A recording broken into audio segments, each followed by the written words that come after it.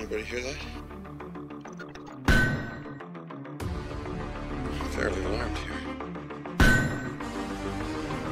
Come on, come on, come on. We gotta get out of here. We gotta get out of here. Now, now, right now. Fear not, brother.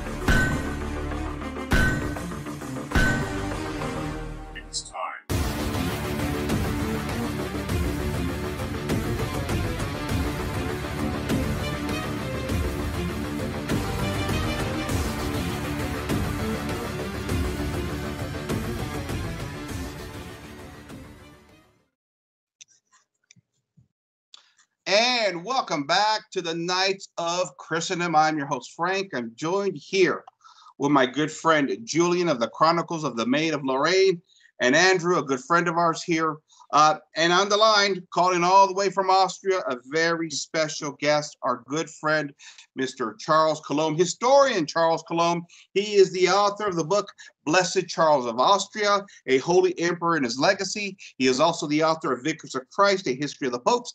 And you can watch his podcast weekly with his partner, Vincent Franchini, entitled Off the Menu. And I do highly recommend it, uh, ladies and gentlemen. Uh, Mr. Charles Coulombe, thank you for joining us. Thank you very much for having me, Frank. Great to be back. Ah, it's great to have you. Our first, our first time we met and did an interview here went fantastic. Our audience loved it, and uh, you know, great to have you back. You know, tonight, Mr. Coulombe, we'd like to ask you about you know the Enlightenment and sort of 18th and 19th century revolutions and how it affects us today. But as you know, we got a massive controversy in the 2020 American election here, and there are heads spinning and confusion, and people are just losing faith in the system left and right right now. But you know, we we, we got a massive recount going on in the American election right now. People, there's rumors of lots of rampant uh, irregularities in the American vote. What are you hearing out there in Austria, and what are your general thoughts about what's happened here in 2020? Well, I uh, I'll tell you what, it's a real a real uh, head scratcher. Uh, you know, the thing about any voting process is that the more complex you make it, the easier it is to manipulate. That's that's very simple. Uh, the, it, it's it's kind of something of a no-brainer. Uh, when you add uh, mail-in votes, odd-line votes, uh, you you can vo- your vote counts uh, as long as it gets in by um, you know by uh, as long as it's postmarked by election day. I mean, the problem is the more complex you make the system, the easier it is to manipulate it. Uh, a fairly straightforward. You go out on election day, you present your ID, you're checked off, you vote, you scram. You know what? If you can't get in, if you're going to be out of town, if you're me, and yes, I voted by mail because I can, but honestly, if it were up to me, I wouldn't be able to. Why? Because I'm in Austria and it would be too easy to fake my vote to do funny things.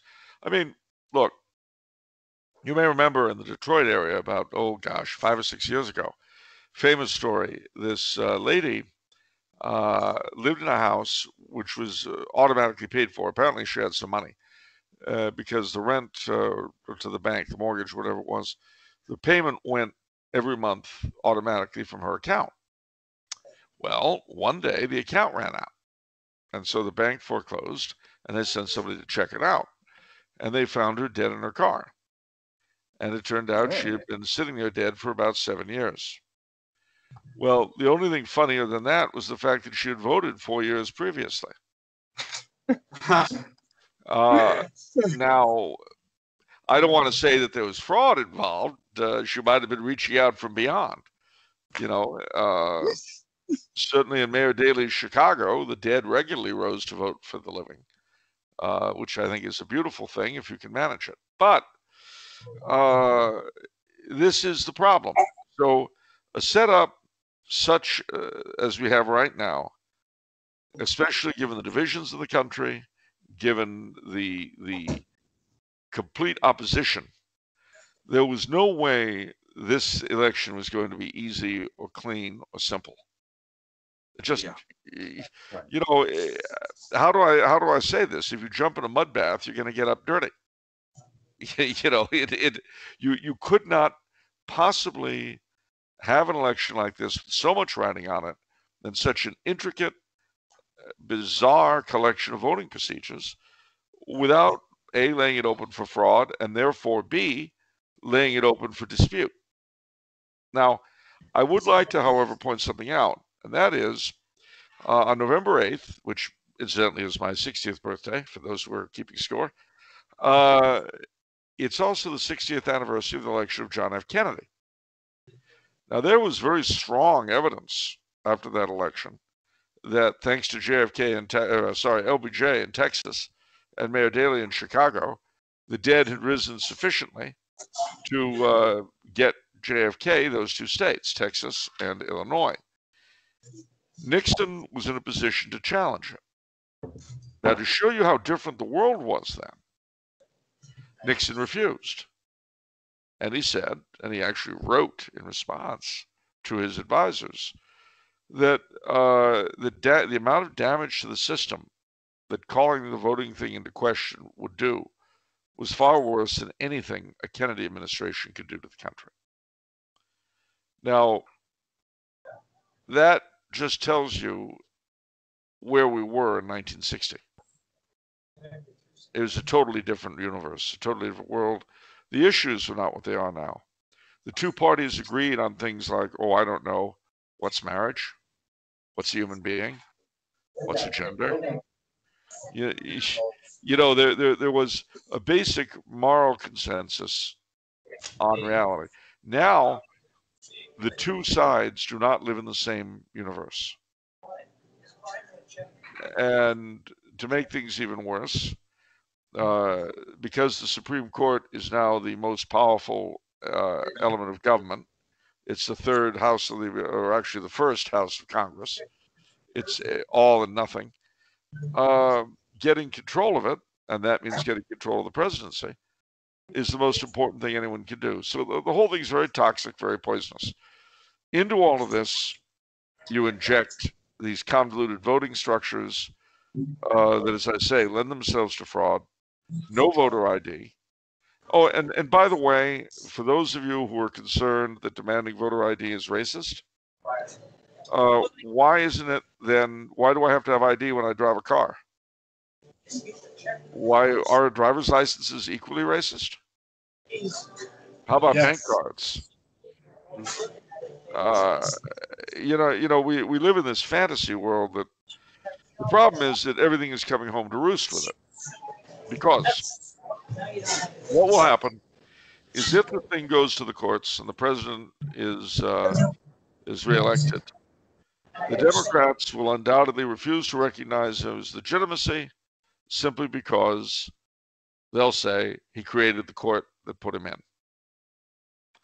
Uh, that was the potential problem with appointing, you know, appointing the uh, uh, the justice that he appointed.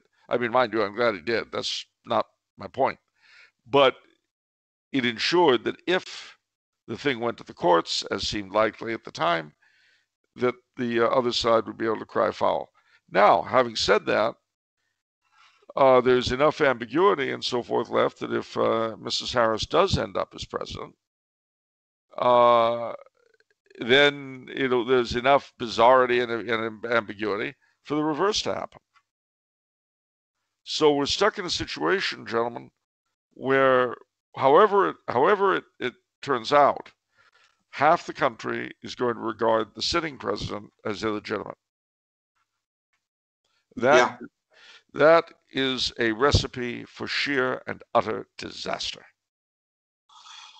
Yes, I think too, uh, Mr. Colombo, it's different than the 2000 uh, fiasco we had here with the Bush Gore uh, election because I think from that standpoint, Bush had the lead uh, in many of those states. Oh, well, in Florida, had the lead in Florida, and it was a matter of protecting a lead uh, from the Gore administration trying to conjure up the votes they needed to win. But if we got a situation here where we have massive fraud and we actually have states that have to reverse some ballot counting or change some numbers, that's going to have a different optic. I think it's going to be a critical moment here if for some reason, um, Joe Biden is declared to get 270 electoral votes. He's going to come out right away, declare victory, and declare he's putting his transition team together. And then we have to go into litigation to reverse the 270 at some point because of the, the massive corruption. That's going to be chaos. Absolutely, absolutely. It's going to be an incredible mess. And the um, the best advice I can give anybody is stay sane. Yeah. Resist the resist the impulse to go crazy. Um, and you know, if you find yourself uh, at the if you find a mob uh, on your tail, remind them that they may be a mob as a group to wreck and ruin, but they'll die as individuals. I I mean, I, I hate to sound I hate to sound like a laughing death's head, but the truth is that we are going into uncharted waters. And it I pray to God that that people keep their heads and that okay. things get sorted out. I want to let I Julian. I have a question about that, if, if I could, Frank, if that's all right. That's so. Uh, how much of this this this is what I find really interesting. How much of this is actually uncharted waters? and, and like what is it specifically about our situation right here in history that that makes this so different from the revolutions of the 18th and 19th centuries. You know what weren't the information wasn't information tightly controlled? Didn't the newspapers didn't didn't didn't they play critical roles in the um, you know in the civil war in the revolutionary war in the war of 1789 didn't well, they, the, in education wasn't that corrupted first? Wasn't philosophy really kind of leading the uh, leading the way? That's all true. But when I say we're in we're in uncharted waters, I mean in living memory uh, in the United States. And of course, what you say is absolutely true. And I mean, we are in the hallmarks. Uh, we're, we're, we're in a situation that bears all the earmarks of, uh, as they like to say, a world historic event. These things, of course, happen throughout history. It's just it's the first one for most of us. Uh, and it's happening here. It's not happening in France. It's not happening in Central Europe. It's not happening in Latin America. I mean, uh, people live through this sort of thing, and they often live with it. Uh, people have lived in banana republics uh, since the uh, beginning of uh, republicanism in the 18th century, but we have not been used to being a banana republic. Now we're going to find out what it's like, I suppose. Yeah. Do you have a dog in this fight, Mr. Coulombe? Of course, I've got a dog in the fight. Uh, I was born in the United States. You know, I, okay. what, I have a dog in this fight. I wore the uniform and swore the oath. Uh, mind you, it was in peacetime. Back in the days, uh, those palmy, far off days of the 1980s, when we were able to say, Sleep all America. Your National Guard does. But those those days, I'm afraid, are gone forever. And uh, uh, you know, my my father was a tail gunner in uh, the Army Air Corps against the Japanese. Uh, I my uh, my father's family uh, have been in the states since the 1880s. so yeah, I've got a dog in the fight. It's the country that in which I was born. Right. I, now, mind you, her institutions, I may have a lot of trouble with. The national ideology, I certainly have a lot of trouble with. But the country itself, the land that invented both the cocktail and the polio vaccine, uh, I, I could, I've had both, and I can tell you which I prefer. But, uh, but honestly, of course, I've got a dog in this fight. Every every Catholic American has a dog in the fight. But the problem is, we've let things go so long in so many ways.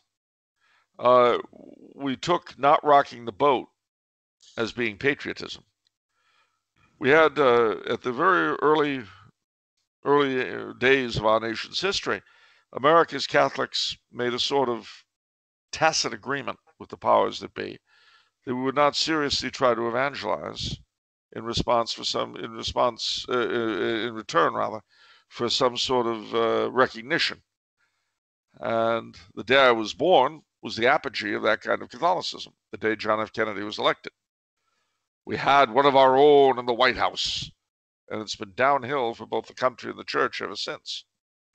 Uh, I I hope my my birth didn't play a part in that precipitate decline.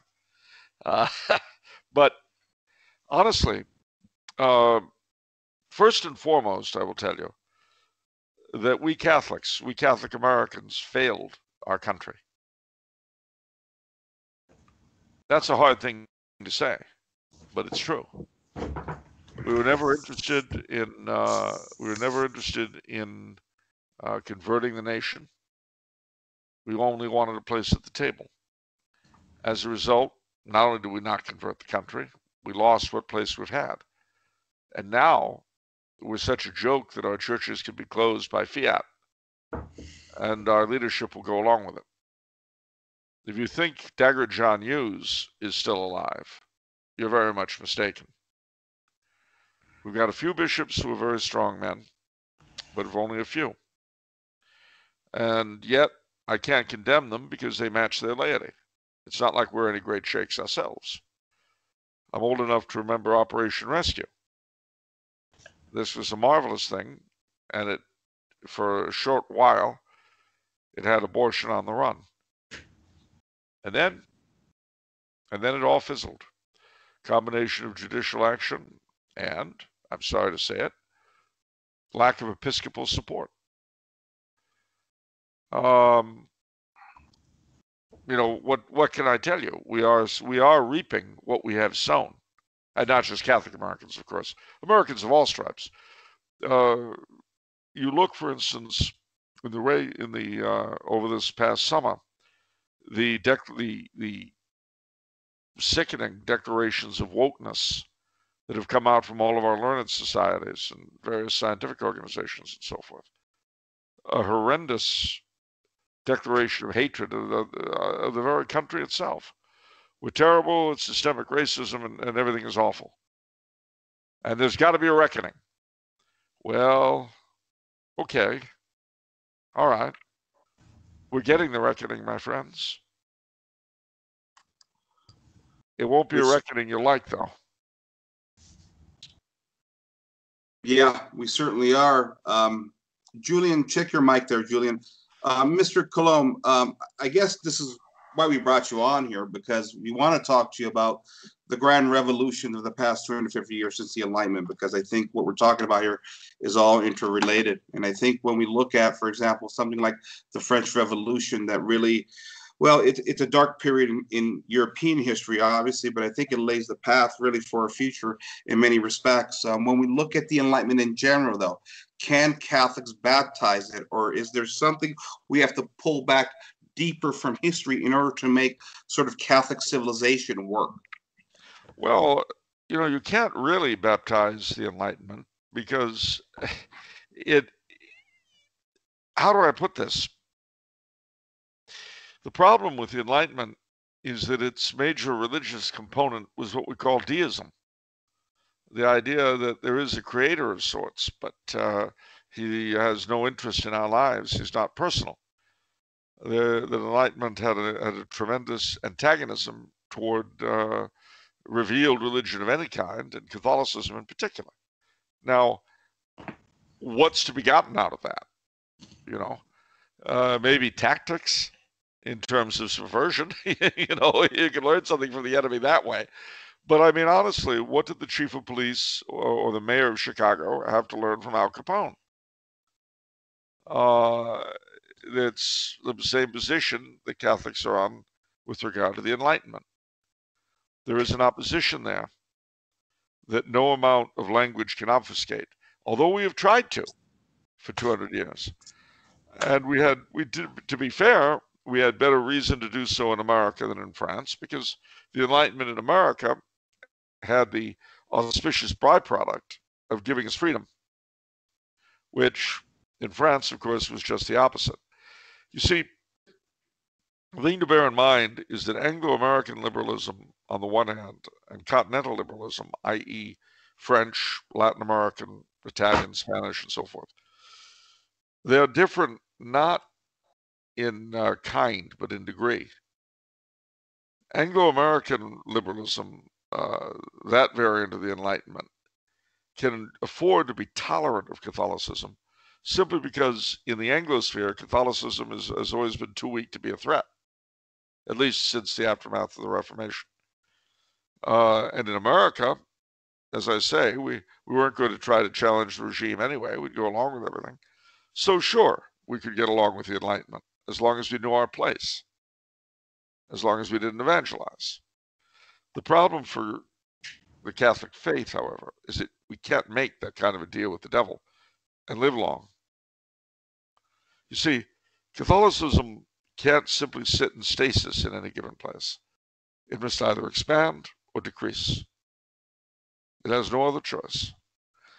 Um, in France, of course, in Italy, Latin America, the Enlightenment was obviously and very definitely the enemy of the faith and did everything it could to destroy us. Uh, in Mexico, in France, and so on and so on. Spanish Civil War. But in the end, they were not as successful as the Anglo American style has been. Because here we learn to love our change, you say. We learn to think that uh, it was okay that our country was not Catholic. And it was okay not to evangelize. In other words, social acceptance, uh, acceptance of the ideals of the Enlightenment, conduct over creed, were more important than following Christ's Great Commission. Uh, you know, you're supposed to uh, love the Lord thy God above all things, thy neighbor as thyself, not thy neighbor above thy God.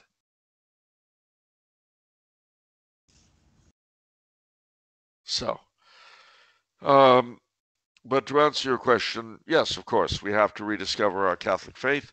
We have to rediscover our Catholic culture, bearing in mind, of course, that we are not living in 15th century France. We're not living in 17th century Spain we are living in what we're living in, the wreckage that is 21st century America. And we have to accept the fact that it is a heathen country and look at it the way Catholics have always looked at countries that they're trying to evangelize. They get to know them very, very well. They get to know their culture very, very well. And then they try to baptize it.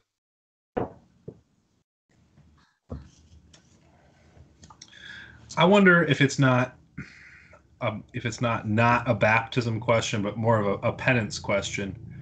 That yeah, we were never a Catholic country, no, uh, officially, and and there was a lot of. I mean, we were officially a Protestant country, really, but um, I. I mean, a lot of Protestants are baptized, and technically, according to the definition, are actually Catholic um, but they just don't even they don't even realize it.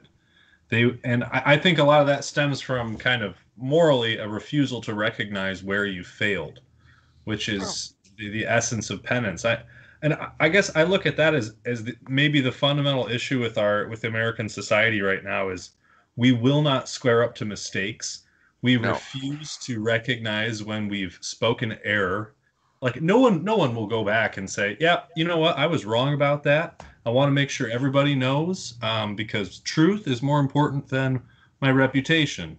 And so what I, I guess so what, what has ended up happening is even our reputation internationally is just trash. We have nothing that we stand for anymore. Um, kind of globally as a as a nation and really individually the way we interact with each other there's there's very little honor even of the most um, you know even in the the most natural sense. So I, I don't i don't want to sound all doom and gloom but but i wonder if if we can't identify the problem a little bit maybe a little bit more specifically with the the wisdom of the faith and and the light that we have. It's it's it's not that we don't know better it's that we refuse to recognize what we know well uh, that's very true uh, you know, my little joke, if it's a joke, is that if you want to love the United States, really adore her, get in a car and drive through her. If you want to hate, uh, you know, a long way, long trip, see a lot of things. If you want to hate the United States, study the history of our foreign policy. Uh, it's a very sad story. Uh, from the very beginning, from the 1820s, uh, when we were able to exert any kind of, of force in Latin America, we always backed the anti Catholic side in any dispute. And of course, having just written this book on Blessed Emperor Karl, we were one of the long list, and, and in the end, the most important list of people who uh, betrayed or did him in. Um, and that, the worst of it is, it wouldn't be, I can't say it wouldn't be so bad, but it would be more understandable if we ever benefited out of behaving in that fashion. But we always end up paying a price for it. Uh, the price for our, our malfeasance at the end of World War One was, at least according to Winston Churchill, who you can't accuse of being pro-German, uh, the the thing that gave us World War II was Wilson's insistence on getting rid of the Habsburgs and the Hohenzollerns and the rest, and he did so because he hated the church and he hated monarchy. He was a good Presbyterian, former president of Princeton, and the epitome of an Enlightenment individual. But you're right. I mean, there has to be that kind of a reckoning. Uh, but how you know you you can't even get there until the majority of Americans have a moral sense for for which to make that that jump. You can't have penance unless you're aware that you've done wrong. True. Uh, you know it it. Uh, the the problem we're we're we're in a setup now, and this is perhaps a slightly vulgar example, but it, it brings it home anyway uh, whenever I hear the phrase modern moral sensibilities, I'm reminded of the Madame of a Bordello who is absolutely outraged that the girls in her employ are smoking after work. Oh, oh, I know what they're doing. I know afterwards they go out and they light up because I can smell the tobacco. Uh, madam, madam, are are you aware of what kind of a business you run here? Yes. What about it? And I know they're smoking. I know they are. Well, that is for a lot of us, and not just people who consider themselves liberal, that is the moral sense we have. So, how do you get to people like that and say, hey, as a society, we've done wrong? As a society, our hands are red with the blood of infants, and we're more like Carthage than Rome. How do you get them to see that in a minute? Well, the only way you can, and this goes back to evangelizing, it's more than just baptizing, evangelizing. It is instructing them in the faith. There, if you don't have that, you don't have, uh, you have no moral understanding. There was a time when the inherited moral capital of old Christendom still survived in non Catholic America. It was one of the things that allowed the country to function. But that's shattered in the 60s. Hmm. And I, uh, I you see, the problem is uh, there will be a solution, gentlemen. There will be. One way or the other, everything we're looking at right now is going to resolve itself. But when I say that, I don't mean to say in a necessarily a nice way. Rome's issues were resolved. The barbarians came in, erected kingdoms on imperial soil, and uh, that was the beginning of modern Europe after they were converted. But if you were a, an imperial Roman patriot, I don't know if you consider that the best solution. But it was a solution. It happened. Yeah. Julian, you have a question? I'm sorry? Yeah. Can you guys hear me? I just want to make sure that Yes, my mic is not muted. Go Uh, ahead, Julian. so uh, earlier you talked about uh, ID. I just want to let you know I have my passport and my driver's license, and every single time I go to the bank, they ask me for one. So I don't understand why it's so hard to, when I go vote, to just ask me for my ID. I, I don't understand, but I'd, Uh, I I'd, make a, I'd make a big deal of it at the bank, and I'd say, "What do you, what do you, what do you mean? I don't need ID to vote." I, I know, right? That's what I would do. Uh, Racist. That's what I would say. Racist. No, I know I really should actually. Um, you kind of answered one of my questions, so it makes my one of my questions superfluous. Uh, uh, it was a I was going to ask about the revolution and the so-called American Revolution, the French Revolution and the so-called American Revolution, and which one is more um, influential on society, more damaging, I guess. But I think what I'll actually ask is have you are you familiar with the with the book liberalism is a sin? It's it's a there's two books that bear the same title. One is by a spanish parish priest and another is by a french cardinal. Uh, how do you think that plays into the church and how we should view politics? And what is it you know i posted on my facebook uh, how are people loving liberalism do you still want to embrace it and then one Catholic who I know personally said, liberalism isn't the problem, leftism is. And then I said, liberalism gives us leftism. If there's no liberalism, there's no leftism. So why is it that Catholics, even Catholics who are orthodox in their practice, don't see the problems of liberalism and, and that it's pernicious and to embrace any bit of it is to their own detriment? Well, you have to go back to the 19th century and actually the uh, late 18th century, uh, something called Americanism. Um, basically, uh, how do I put this? From the very beginning, when John Carroll was appointed uh, Bishop of Baltimore, uh, many Catholics have felt that embracing our national liberalism the fruit of the Enlightenment and our first Civil War, the American Revolution, so called, embracing that was necessary to be patriotic. Because again, and this this is a pro, a, a, very large problem uh, that is not just for Catholics, unfortunately, but when the revolution was accomplished, apart from that moral consensus I spoke of, uh, and their shared loyalty to the king, the uh, the colonies had not really had any bond of unity. After the revolution, the loyalty to the king was gone, and to replace it, a sort of religion of the country was developed, which was a kind of deified liberalism, you know. Uh, and men like John Carroll, his brother Daniel, who was the uh, Grand Master of the Grand Lodge of Maryland, and their cousin Charles Carroll of Carrollton, the Catholic signer of the Declaration of Independence. None of his children married Catholics, although that didn't bother him. And none of his direct mm-hmm. descendants, except for a few converts, being Catholic today. Um, American Catholics in the very beginning wanted to conform and believed that it was their duty, they were bearing in mind that patriotism is, in fact, a religious virtue. They believed it, uh, embracing the national liberalism to be part and parcel of being a loyal and faithful American. Well, what they would not let themselves see is that there was a basic problem between the national liberalism and their religious faith.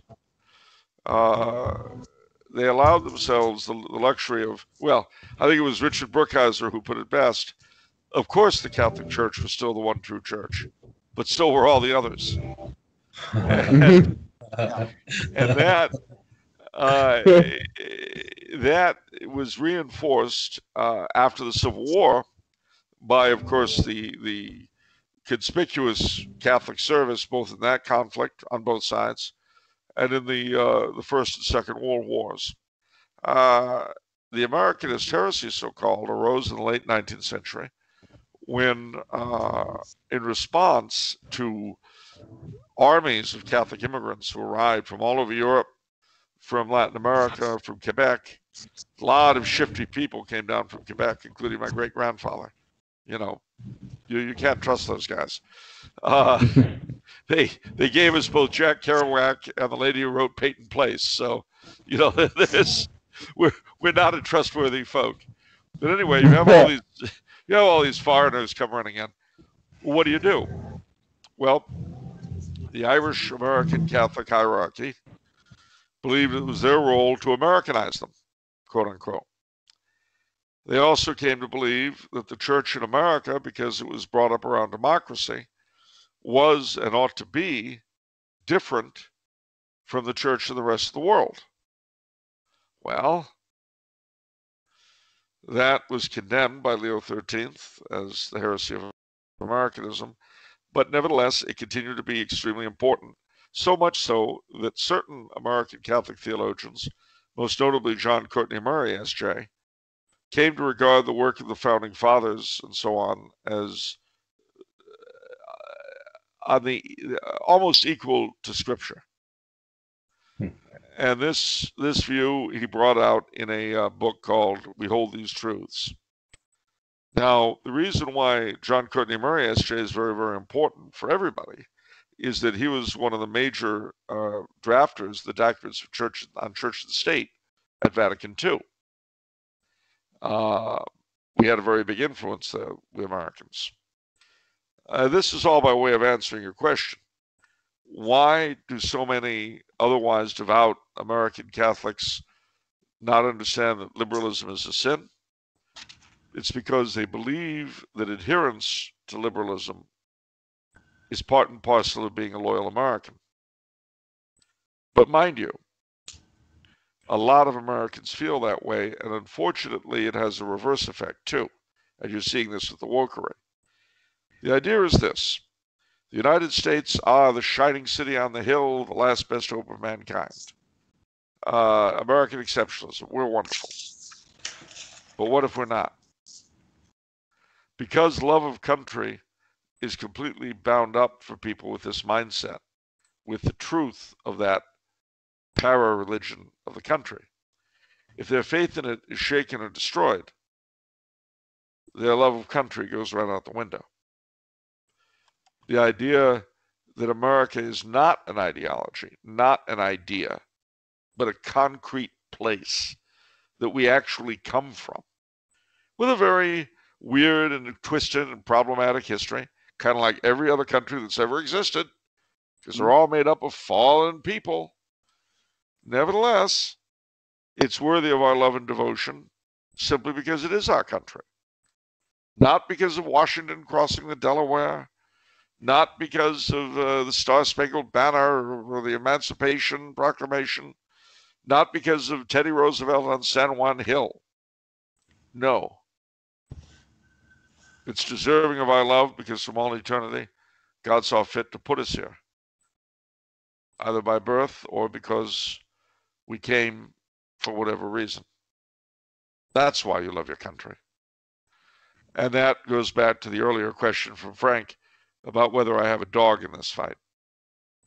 But you see, I think that what we lack, and then our great Achilles heel, both Catholic and non Catholic in this country, really is a true patriotism, a love of the country in and of itself. And for the Catholic in the non Catholic country, and this is true if he's in America, India, Japan, China.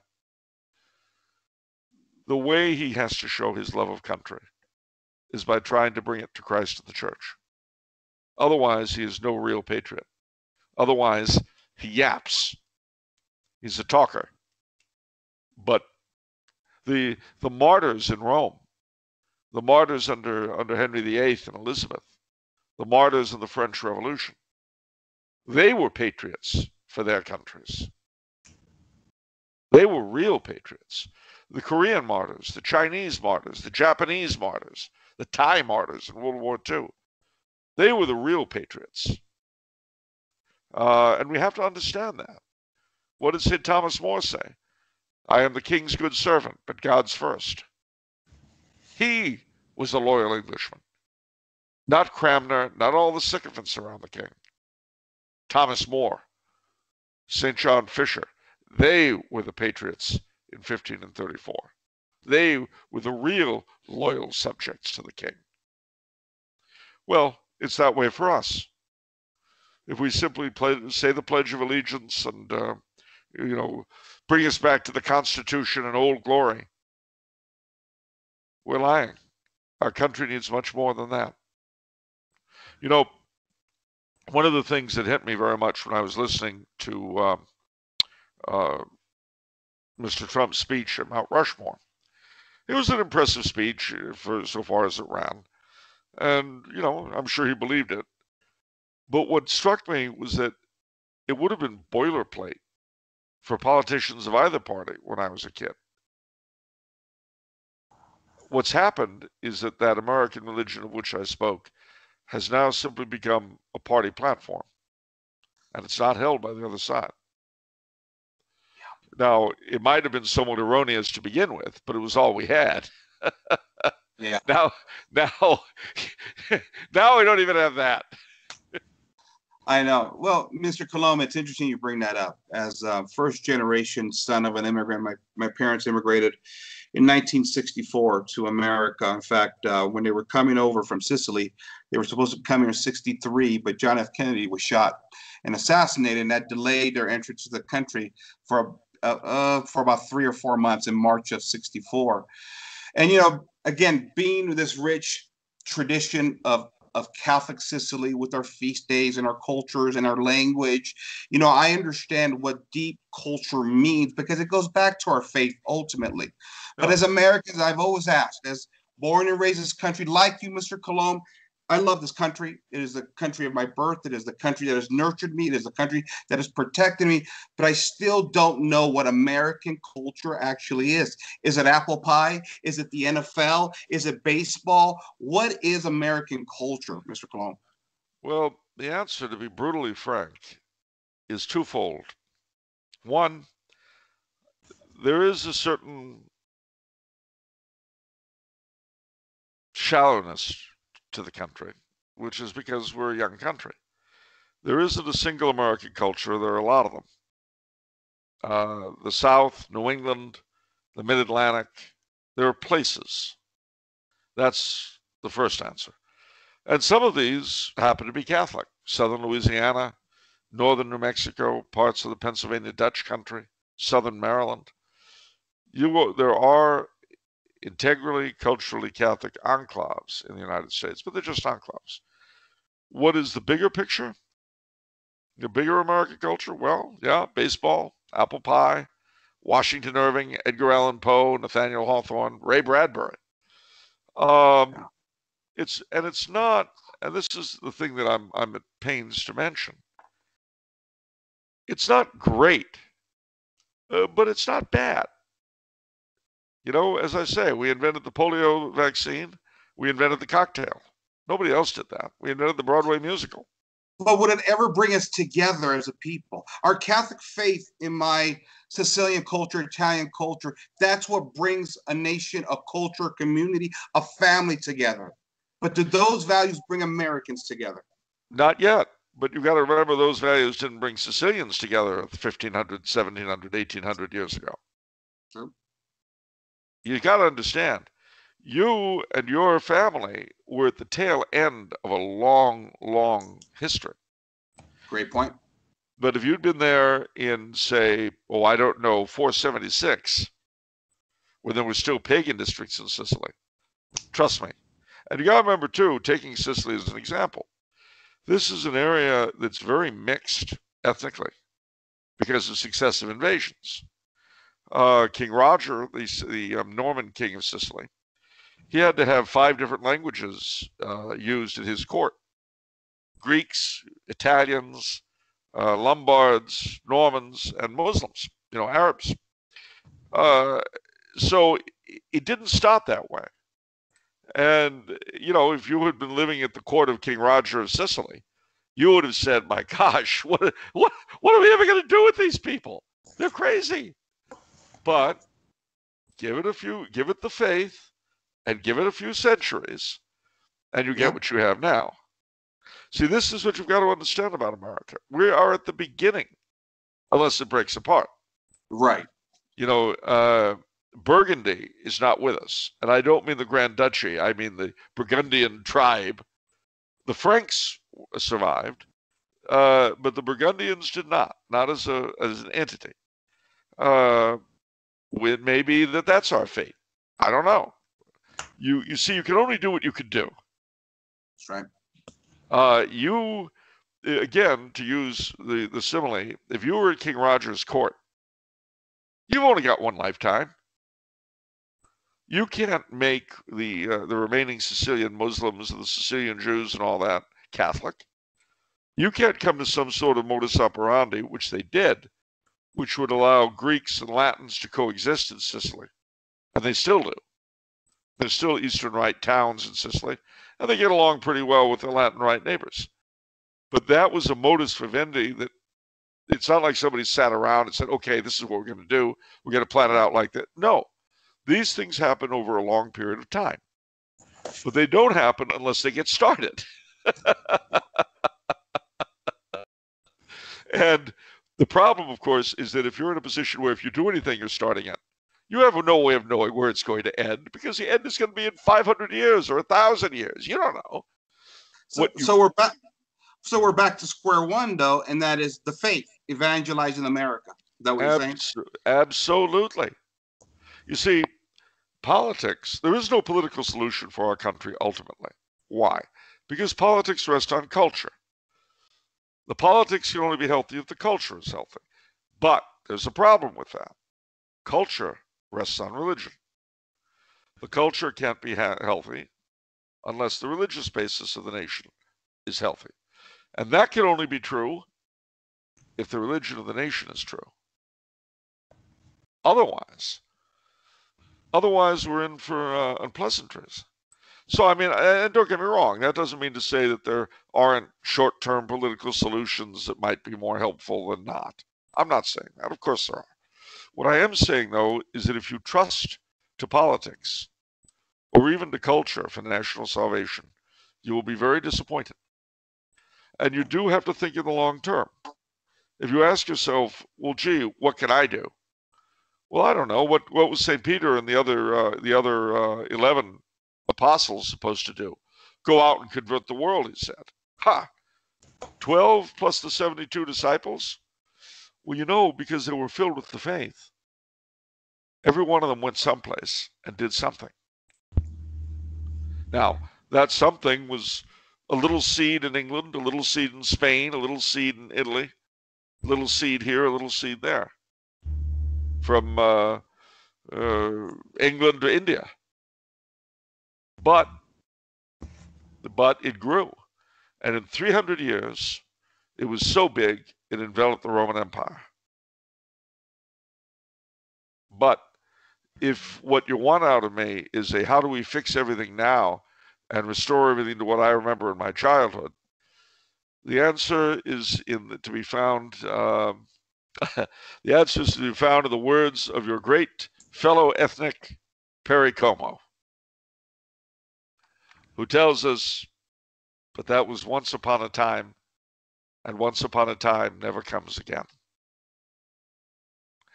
The America that I was born into, the America of the the Pledge of Allegiance, the the American Legion, the Knights of Columbus, the Boy Scouts. Yes, I was an Eagle Scout. Fourth degree Knight of Columbus. Yep, yep, yep. That America is deader than Austria-Hungary. Yeah. So I don't like that. I don't like Austria-Hungary being dead either. But uh, we live in the world we live in. So what we have to do is pick up whatever pieces we find in our immediate neighborhood and do whatever we can with them. And it may be, especially the way things are going, that we may literally or figuratively lose our heads over it. But reflect on this too, and that is that the time in which God decided you would be born is simply the historic backdrop against which you and yours have to work out your salvation. And if we make it to heaven, then all of this will have been worth it. Yep. And if not, eh. if not, then it doesn't matter who wins, not to us. Andrew, you got a question for Mr. Coulombe? Yeah, I, I, mean, I guess if you're trying to figure out which pieces to pick up first, um, that's a real good question. are, you, are, are you, a certain amount of you has to be a, a psychologist in the good sense, and, and yeah. I guess a, a doctor and and assess each person in front of you to see what is uh, you know what is it that they need in order to to fix what looks to me to more or less be a psychological problem right i mean we're we're if and i'm kind of harkening back to your earlier conversation about american exceptionalism and the para-religion um, yeah.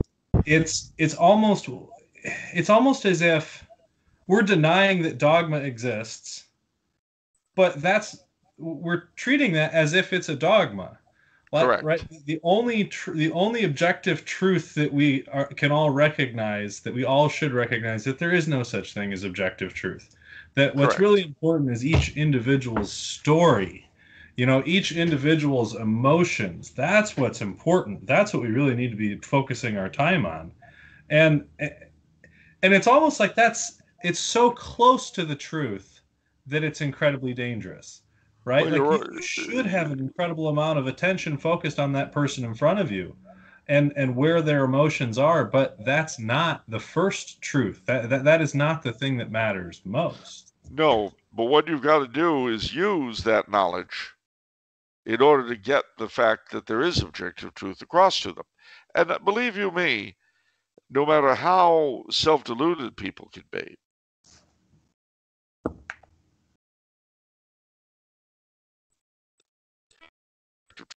They don't like to be robbed. They don't like to be. Well, uh, once you find what their real objective reality is, that's what you build on. The only reason why we have um, uh, why we have the, uh, the concept of anything from police to private property is because of the faith. And in, in fact, that the notion that there is no objective truth, which, as you correctly say, runs through everything, you have to show them how that notion really is to their disadvantage. Mm. Uh, the problem is when you're dealing with people who don't believe in anything but themselves, you've got to start out with why what you believe really is to their benefit to look into, because it provides a, a reason.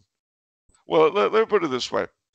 Uh, when the faith came to Rome, the first two social classes that really got eaten up by the faith, just dived into it, were ironically the two extremes the slaves and the old Roman nobility, the, the pre imperial nobility, uh, who had been sort of shunted aside with the rise of the empire.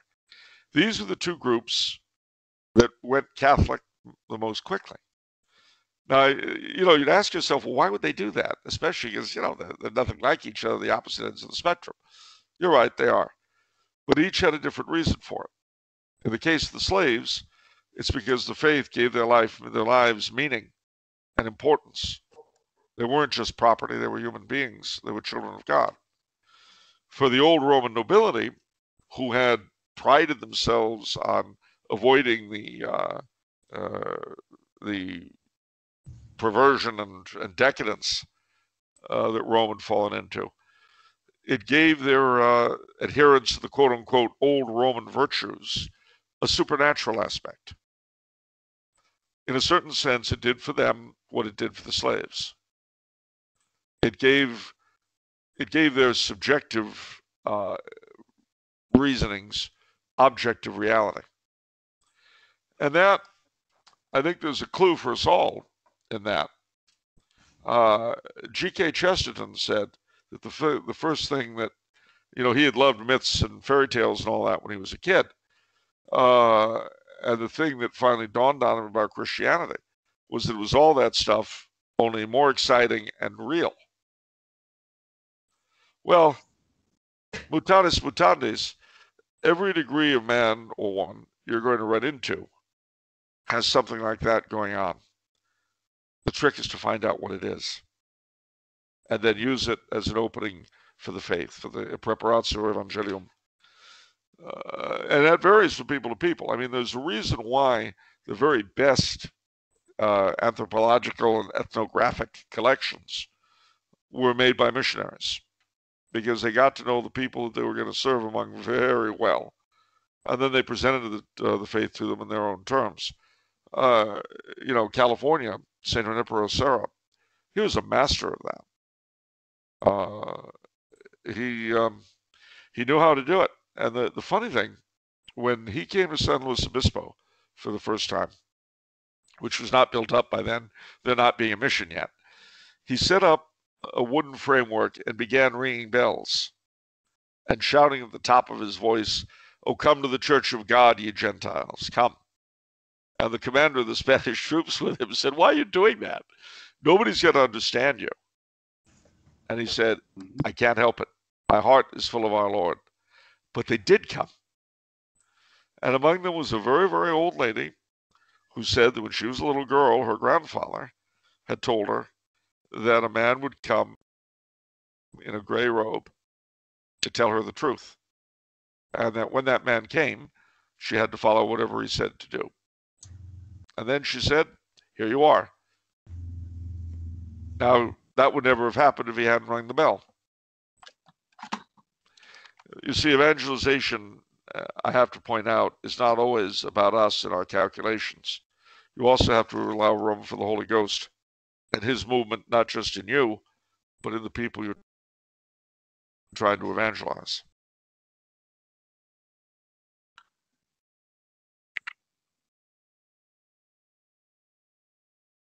Yeah. Okay. Uh, Julian, um, you got a final question for Mr. Coulombe? Unmute yourself there, buddy.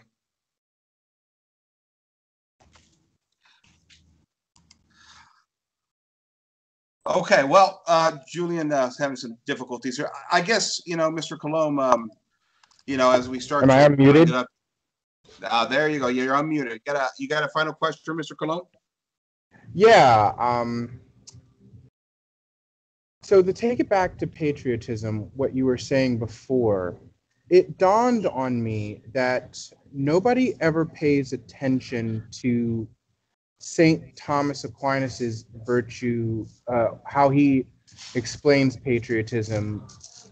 Catholics have bought hook, line, and sinker the Enlightenment, specifically the American version of patriotism, and have completely disregarded uh, St. Thomas Aquinas's idea of what patriotism is. And if they do have a, a somewhat of a working knowledge of St. Thomas Aquinas's definition of and what patriotism is, it it's quickly morphs into 18th century Americanism version of patriotism, and that somehow you have to love the government and work with the government, even though this government it, it, it's it, it's not something that a Catholic should want, but yet somehow they constantly keep trying to baptize it. Why is it that I guess, like liberalism, that Catholics have embraced this 18th century American idea of patriotism and completely disregarded the actual Catholic ideal of patriotism. Well, as I say, uh, most of the hierarchy were pushing this to the very beginning. You know, uh, John Carroll accompanied um, Father John Carroll accompanied Benjamin Franklin to uh, Quebec in an attempt to get the French Canadians to join the revolution. Now, the problem with that was that the Continental Congress had sent out two letters, one to the people of Canada and the other to the people of Britain. Well, to the people of Canada, the letter said that uh, surely you will not, not, allow our religious differences, which, uh, you know, we have as the same love of freedom, blah, blah, blah. Unfortunately, they sent a letter to the people of Britain that attacked the king for the Quebec Act, saying that he has established in Quebec uh, that religion which has uh, uh, bathed your islands in blood. Hmm. Well, unfortunately for Franklin and Carroll, Bishop Briand of Quebec had gotten copies of both letters. Well, when they got up there, he ordered that any priest who sheltered them would be suspended and the one who did was. But he excommunicated John Carroll. And that's why when John Carroll was eventually appointed Bishop of Baltimore, he had to go to England to be consecrated because mm-hmm. he couldn't set foot in the Diocese of Quebec. Well, the thing is that when Pius VI decided that uh, America needed a bishop in 1789, he first applied to George Washington as the president and asked him uh, who he would like as uh, bishop. And Washington's response was, appoint whoever you like. That, you know, it's it's not within our, our purview. So then he asked Benjamin Franklin, who was kind of a superstar in Europe, the best known American over there, and he suggested John Carroll, which suggestion Pius VI took. So someone asked Ben Franklin, why did you suggest Father Carroll? And his response was, because on all the months we were together on the Quebec trip, going up there and coming back, he never once talked about religion.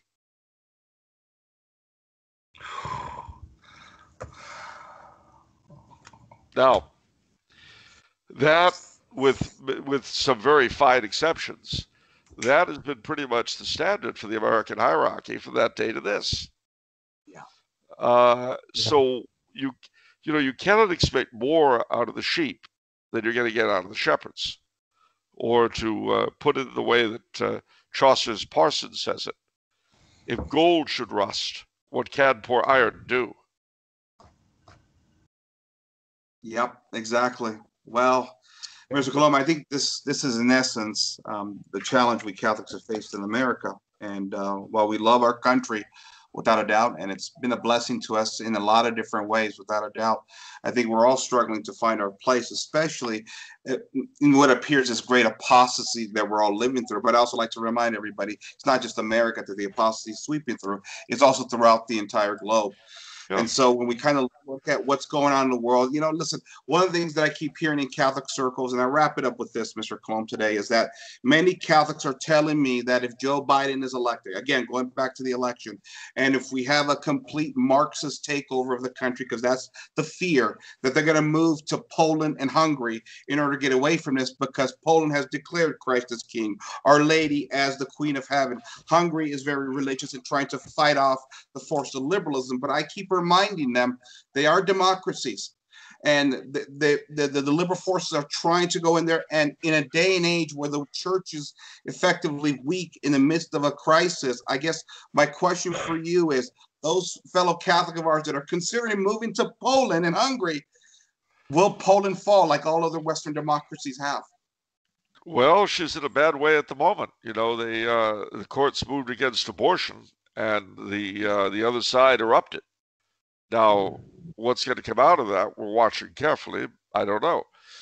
Um, certainly, Central Europe is resisting. Now, what form, how long that's going to last, whether they'll be successful, I can't say. What I can say is that there's kind of a race to the bottom in the sense that our country, which is really, I mean, if it weren't for us, George Soros wouldn't have the money he has. Uh, you know, you could only uh, you could only sell so much uh, property stolen from dead Jewish people, and that where he got his start. You know, uh, he made his money really in the states, and we're we're the backers of all bad things. But with our implosion, with the uh, increasing Islamic problem in uh, Western Europe, how are things going to go over here? I don't know. Uh, but if I were if I were there right now in the states I would say, see, look around your own place, see what you can do where you are. You know, and if you absolutely can't, fine. But see what you can do where you are. And you know, my, my little joke, uh, you hear all these celebrities saying that they were going to leave the States if Trump were elected. Well, I never said that I would leave the States if Biden were elected. And yet, here I am in Austria. I, I, I, I, I, mean, you, they're all still sitting over there. I, am actually gone. I, I, I don't know what to yeah. say. But uh, yeah. no, uh, uh, honestly, had I known two years ago the way things were going to be, I don't tell you that I would have done anything different. But I'll tell you what, I would have been very, very, very shocked at how quickly things went south. Uh, but, you know, we've got to remember once again God is in charge. It's not all about us, except about our salvation. Uh, remember, too, that there are three things you can do against persecution that the church allows. You can be martyred, you can take up arms against it, you can flee. Now, the most perfect is martyrdom, the most heroic is resistance, but flight, you know, flight is flight. It's not wrong, it's just the least perfect of the three. Yep. Yep, I think it's Yeah. very well said, Mr. Coulombe. I think, you know, for my part, you know, being born and raised in this country, having the love for this country myself, I think, um, you know, I've chosen to stay here and fight the good fight. I realize some of the risks here for my future offspring and my family and things of that nature, but we are Americans and it's our duty. And I think you're absolutely right, Mr. Coulombe. I I think evangelization is the key to this thing. As difficult as it is with the church in crisis, I believe that's part of the issue. You know, when I ask you about Poland and Hungary and and sort of the encroaching liberalism there. You know, a lot of people say, well, look at look at Ireland. You know, they had the Trinity enshrined in the Constitution and it collapsed. But Oh, I go back to I think something you said. You got to have a functioning church in place that believes in its mission, administering the sacraments and the graces that the church has. I think that's not a great example. Uh, there, Yeah. Mr. Yeah, I mean, it's it's a hard it's a hard time, but there have been hard times in history before, and our ancestors lived through them, and we know this Yeah. because we're here. Uh, you know, when people say to me, "Well, how could we possibly bring children into a world this terrible?" Uh, my response is, "Well, gee, I, I guess the way our, our ancestors did it during the Black Death." Yeah. And we know they did. And you know how we know they did? Even if you don't know your genealogy, you know how we know your ancestors had kids during the Black Death? How that? How's that? Well, I'm not telling. It's a secret. You got to figure it out on your own.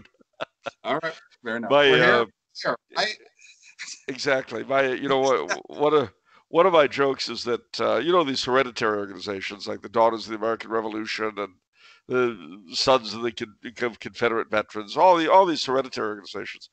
I've uh, long said that I'm going to start the most inclusive hereditary organization there has ever been. I'm going to call it the Hereditary Order of the Sons and Daughters of the Black Plague. If you descend from a survivor, you can join. oh my goodness. well, you know, it's terrible. All my ancestors died in the plague. Not one survived. oh my goodness. I know. I, I, I'll tell you, if you ever, if you find yourself in that position, there's not much I can do to help you. I really can't. I like- know. Like the old, uh, the old Irishman said, uh, "It's hereditary in my family to have no children." Okay. All right. Well, very well said, Mr. Coulombe. Listen, I want to thank you for joining us. It it is truly an honor to get to talk to you. Um, uh, we're big fans of yours around here. Uh, I want to thank Julian, uh, Julian here for connecting uh, us to you. Uh, and uh, I think uh, Julian is uh, going to get things going on his end here. Andrew, thanks for for for showing up as well too today. You did great. And uh, I want to thank our audience for tuning in. Uh, we're going to have this up on the Knights of Christendom website as well too. We'll probably chop it up. There's lots of great little nuggets in this. And once again, Mr. Coulombe, you can find his books on Amazon. You can find his show off the menu right on YouTube. Ladies and gentlemen, eh, listen, I was a history major in college, and uh, I learned more from Mr. Coulombe. Seriously, watching his show off the menu than I ever did in college. I I got, you know, just, you know, being taught by leftist professors in the, in the trade of history, nothing more frustrating. If you want a sense of sanity and, uh, uh, and truth for that matter, check out Mr. Coulombe, read his books, watch his show. Thank you, Mr. Charles Coulombe. Thank you very much. Glad to help always. God bless you all. Thank you. God God bless. bless you all. Take All care. right, this is Frank signing off for the Knights of Christendom. Thanks, Andrew. Thanks, Julian. We'll talk to you guys later. Good night, everybody. Good.